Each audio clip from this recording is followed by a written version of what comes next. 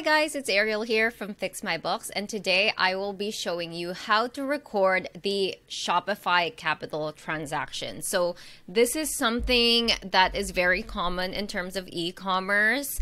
So, what they'll do is they'll give you, they'll call it Shopify capital. It's really a loan. So, they'll give you a loan and then they will take the interest portion up front. And then what they'll do is they'll take 50 uh, 15% of your sales with every single remittance or deposit, right? They'll take 15% off of the top, and that's how you pay down the principal balance of the loan. So let me show you guys what that looks like. This is exactly how you would see it on Shopify. So as you can see here, this is obviously like fictitious numbers. I made all of this up. Um, but this is how it would look like when you have Shopify um, capital transactions. And then I just sorted it by date so it would be easier so that the start would be here instead of the start being in the bottom. But when you see your Shopify capital CSV file, and it will be a CSV file like this, it will be in the bottom. Again, I just sorted it so it's on top here so it's easier for everyone to see. So let's get started. As you can see, the balance here says $9,723.60, but the amount we received is only 8,760. Why is that? So, that is because Shopify takes a portion of it of the loan up front, the interest portion, and they will only deposit 8,760. As you can see here, it says all you received is 8,760. So even though, again, these numbers are fictitious, it's completely made up. This is exactly how it would look like on a live or real loan, right?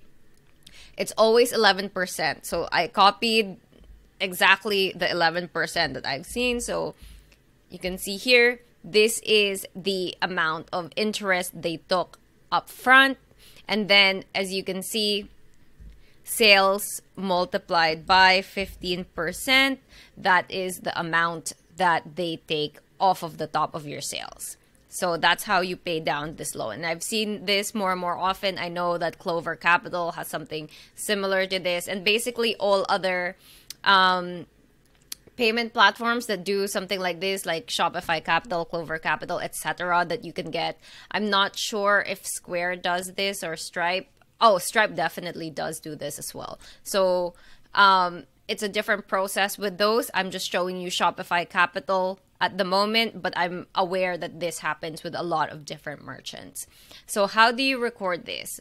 So this deposit on 1003, as you can see over here, we will record it as such. So click new, journal entry, and you should have a Shopify Capital account. But if there's none here, then we can just make one up.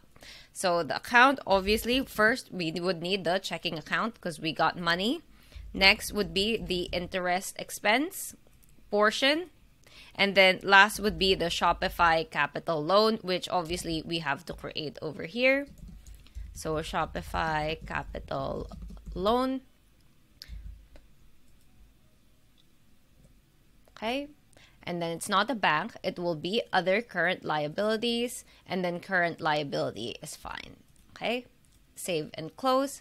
And then just follow what I did. So basically, the balance minus the amount here, that would be your interest portion. So obviously, what hit your checking account is what we put in the checking. The interest expense is 963.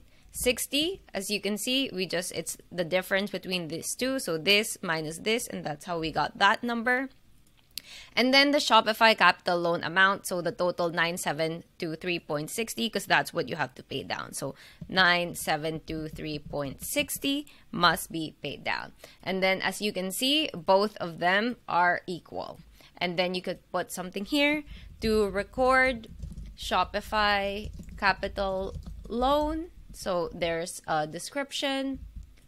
And then one thing I like to do is also to attach the CSV file over here of the uh, this exact CSV file. So if there are any questions in terms of the loan, the source document is there already. So I would highly, highly advise that you attach it here. I'm not going to do it. This is a dummy account, but just know if I was doing this in a live account, that's what I would do. Save. And then when we close out of here, you can see that it says deposit matching exactly. So we'll click match. And then once we go to the balance sheet,